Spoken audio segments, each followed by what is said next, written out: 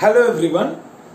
My name is Rohith Raja and welcome to my new channel and we will be discussing about popularizing the subject mathematics. Okay? So, what is mathematics? We know that it is a science that is it is a subject that has so many applications, isn't it? So, how is mathematics involved in daily life? You have heard many people talk about it, isn't it? But still, there are people who do not understand why we study certain things. Whether it is mathematics or physics, chemistry, statistics, biology, or any other sciences or any other commerce subjects, we are being introduced to such subjects so that we have a basic knowledge about the concepts that are studied in each of these.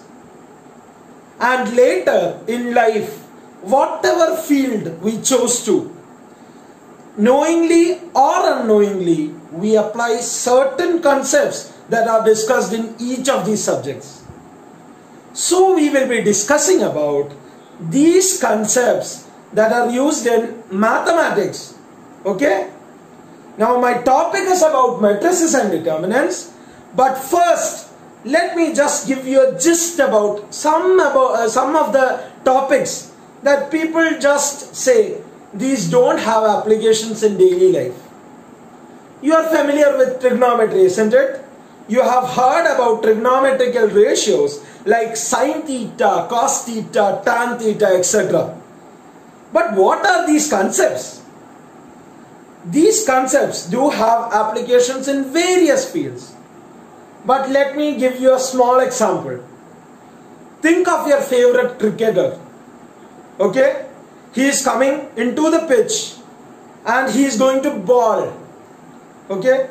So does he just stand in the crease and just give a uh, throw the ball? No, he doesn't. What does he do? First of all, he'll take a run up, right? What is that for? See, you might be thinking, where is mathematics in that? I'm just trying to say that there are many concepts, all the sciences are involved in any action that we take. So here if we are telling about physics, you know momentum. So if you are standing at a position and throwing a ball means the ball has ball attains a particular velocity only. But when you set the body in action, what happens? You will pick up a momentum and that will create a better pace for the ball. That is the application of physics. Okay, very small application. But how do you release the ball? What is our aim? My, my aim is to take the wicket of the batsman standing there.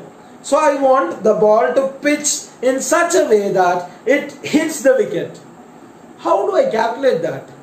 Suppose I throw the ball from this angle. What happens? If I throw the ball from this angle, then it might reach just uh, somewhere halfway between the pitch. It might hit somewhere, uh, it might pitch somewhere between the pitch, okay, uh, midway. Fine?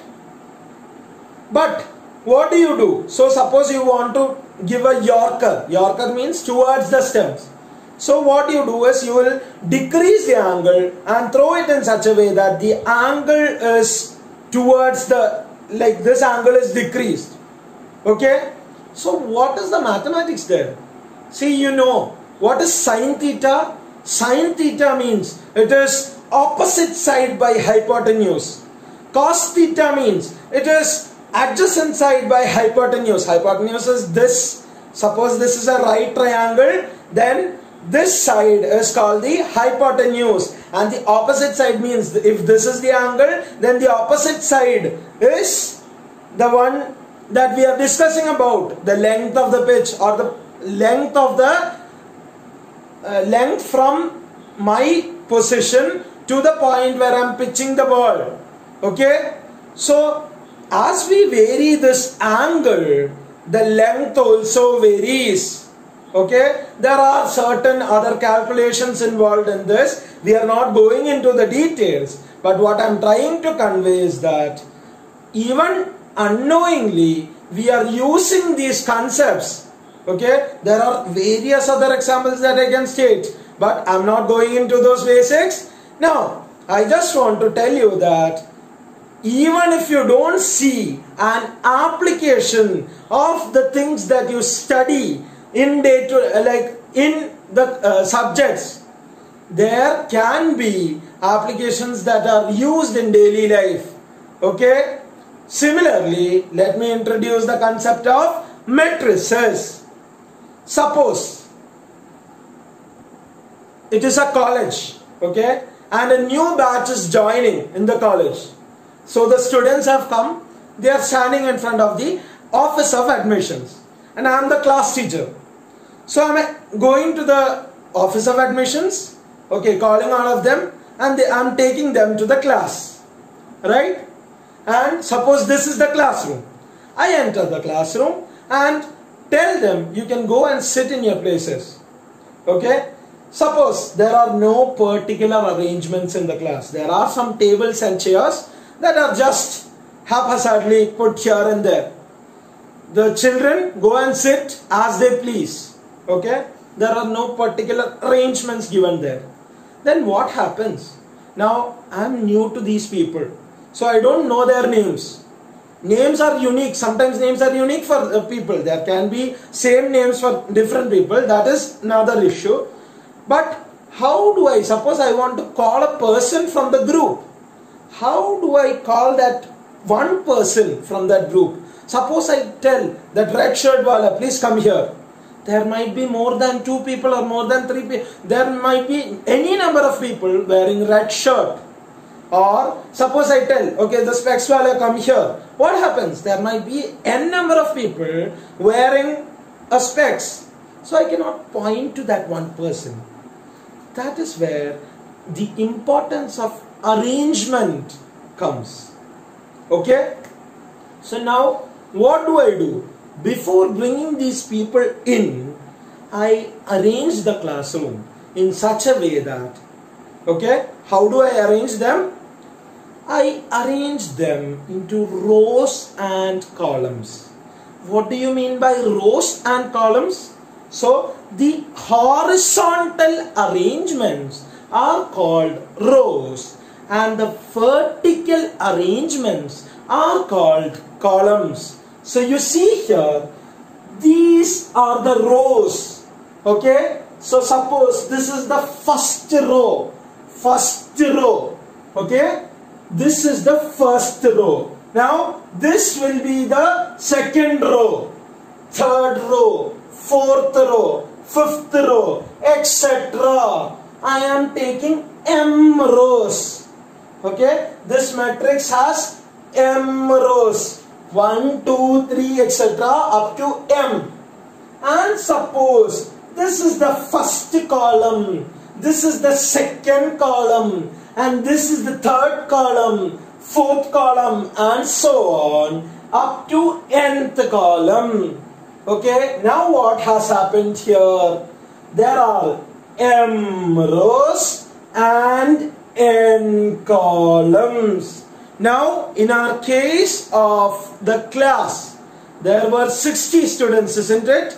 It was a class of 60 students. So, I have arranged my class in such a way that there are 10 rows and 6 columns.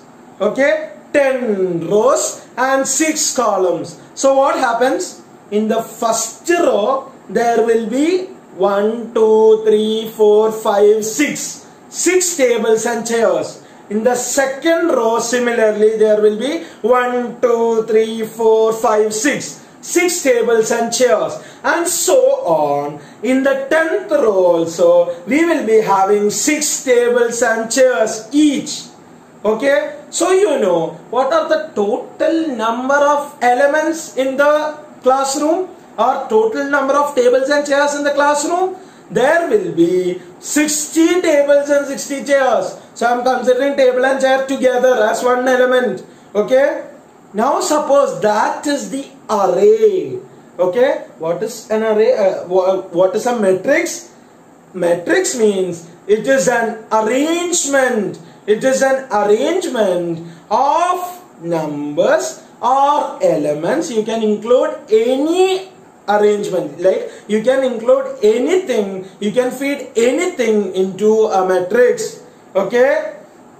It is it is a rectangular arrangement. It is a rectangular arrangement of numbers or elements into rows and columns. So matrix is a rectangular arrangement of numbers in all elements into rows and columns okay so you just see here now what happens what is the use of having such an arrangement now we have, see what is the first element here? It is the first row, first column element. Okay, I am entering the class. So this is the first row. I have first row, first column element here.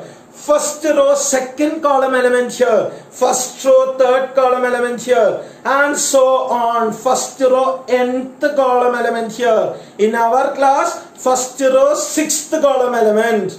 In the second row we have second row first column. So first we denote the rows and then the columns. So generally we can represent an element in the matrix as the Aij, small Aij okay? Where i denotes the position of the row that is ith row and j denotes the position of the column that is jth column. Okay? Now a i j means ith row jth column element. And how do we denote the matrix? We give a capital letter. Any capital letter you can give okay? For the matrix and the elements can be given by small letters and the subscripts will be ij that is i will be the number of so representing a particular element means ith row jth column element will have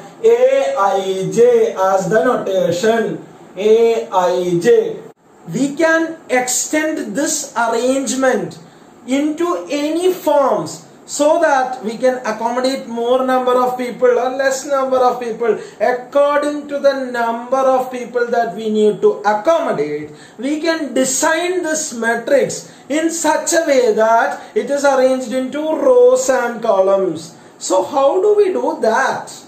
For that we need to have the number of elements in our mind. Okay? So in this arrangement with m rows and n columns how many elements will be there? There will be m into n elements, isn't it? When there were 10 rows and 6 columns, there are 10 into 6 equal to 60 elements. Similarly, if there are m rows and n columns, there will be m into n elements in the matrix okay? So suppose there are two rows and three columns. Then there will be 2 into 3 equal to 6 elements in the matrix. And what is this 2 into 3 or 2 cross 3 or 2 by 3 what is this value called? This is called the order. Order of the matrix.